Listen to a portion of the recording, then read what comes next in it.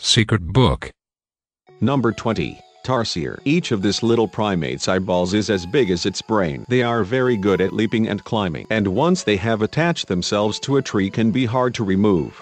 Number 19. Mud skipper. Mud skippers are fish that propel themselves across land using their fins. They live in mudflats and, despite being fish, spend most of their time out of the water.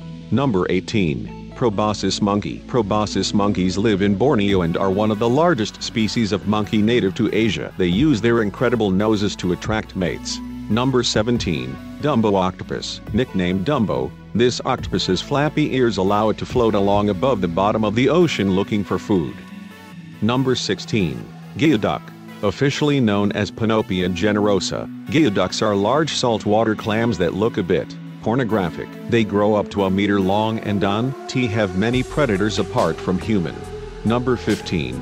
Bald Uakari. For the bald Uakari monkey a bright red face is a considered a sign of good health and helps other Uakaris choose a mate. These primates tend to live near the water in Brazil and Peru. Number 14. Narwhal. Like unicorns of the sea, but they actually exist. Narwhals have nerves in their magnificent looking tusk probably to help them sense their environment better.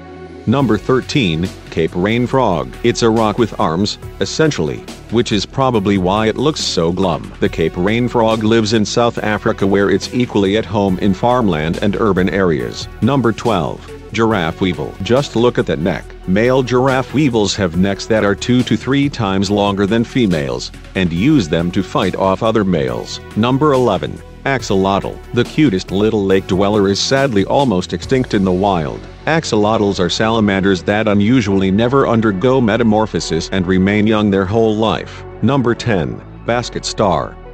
Basket stars fan their arms out and use tiny microscopic hooks to capture food before curling their arms around it and pulling it towards their mouth. They tend to catch prey at night but wait until daytime to actually feed on it, which somehow makes it all the more terrifying. Number 9. Mantis Shrimp. Mantis shrimp have 12 color receptors in their eyes, and they can punch with an acceleration of 80 kilometers per hour. So let's not mention their flamboyant appearance to their face. Number 8. Christmas Tree Worm. These worms look a bit like Christmas trees, but they live on tropical coral reefs around the world. Each worm is about one and a half inches long and has two fir tree-like protrusions, because one is clearly not enough. Number 7. Saiga.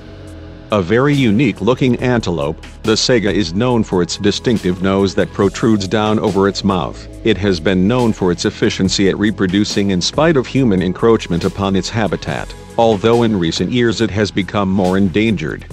Number 6. Long-eared jerboa. Resembling mice, not much is known about these small jumping rodents. Their habitat consists mostly of northern China and Mongolia and they usually come out only at night. Number 5. Pigbutt Worm. It's a worm and it looks like a pig's butt. They live 3,000 feet below the ocean surface and are about the size of a marble.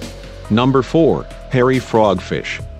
Also known as an anglerfish, this hairy hunter's dorsal spine is topped with a fleshy lure that it moves back and forth through the water to mimic the behavior of a marine worm.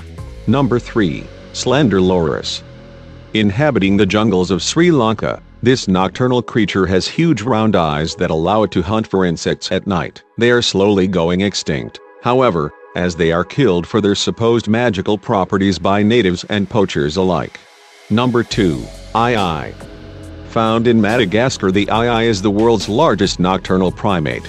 Often noted for its unique foraging techniques, it taps on trees until it finds larvae, gnaws a hole in the wood, and inserts its middle finger to pull them out. Number 1. Sphynx Cat. This curious breed is known for its lack of hair and highly extroverted behavior. Care must be taken to ensure that they do not stay outdoors for too long because they are susceptible to both sunburn and hypothermia.